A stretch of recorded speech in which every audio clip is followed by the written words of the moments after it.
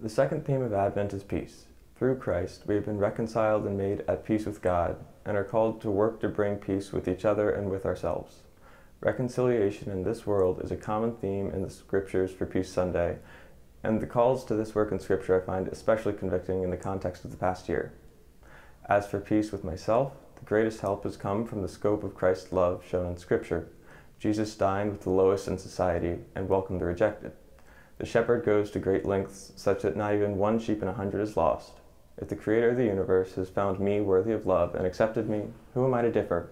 Hymns take a central place in my spiritual life, and so I'd like to read my favorite verse from The Summons by John Bell.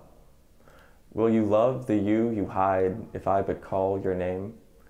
Will you quell the fear inside and never be the same? Will you use the faith you've found to reshape the world around through my sight and touch and sound and you and you and me?